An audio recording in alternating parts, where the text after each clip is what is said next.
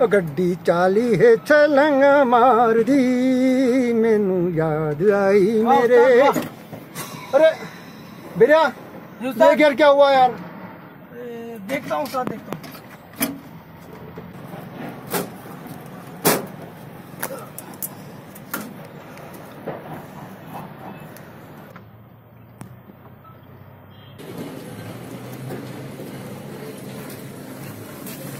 उस्ताद क्या हुआ? पट्टा टूट गया। अरे यार ये इस रोड को कब तक झेलेंगे? कब बनेगा ये रोड यार?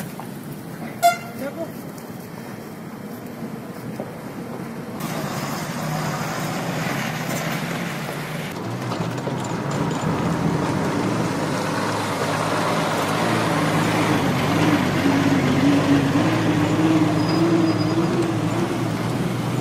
भाई साहब एक मिनट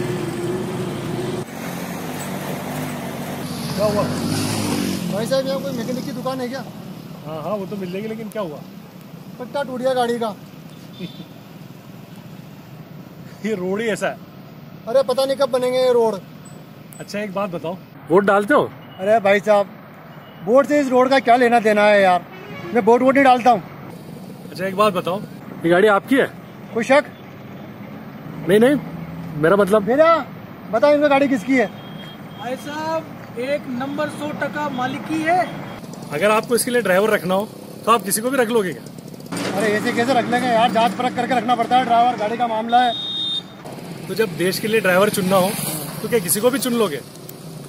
सही देखो जांचो परखो उसके बाद चुनो। क्योंकि आपका एक एक वोट मायने रखता है। आपका एक वोट देश की दिशा और दशा दोनों तय करता है। वोट ज़रूर डालो क्योंकि ये देश का मामला है। ये बात तो ठीक कह रहे हैं भाई इस बार चलेंगे वोट डालने अपना नेता खुद चुनेंगे अपन।